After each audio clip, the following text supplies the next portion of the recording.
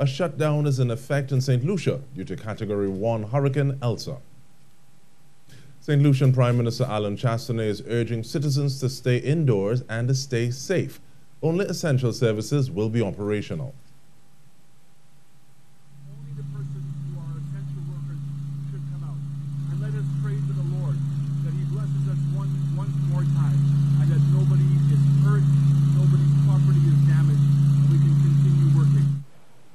And Mr. Chastanet said that the island is equipped so far to treat with Hurricane Elsa. We've been preparing this country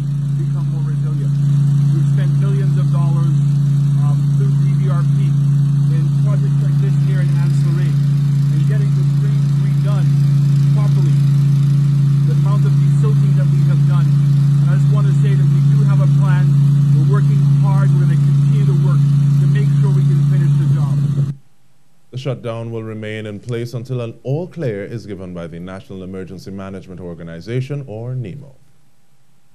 And while Hurricane Elsa continues to affect parts of the region, as is seen here as it lashes Barbados, parts of Trinidad and Tobago continue to feel its effects. Overnight rainfall has resulted in flooding in central and southern Trinidad. TTT News understands that parts of Freeport, Talparo, and Todd's Road are currently underwater, leaving some residents stranded in their homes and some roads impassable. And earlier today, Friday, severe rain and wind conditions also brought down a tree in the vicinity of Pembroke Street, Port of Spain. TTT News will keep you updated on the developments of Hurricane Elsa.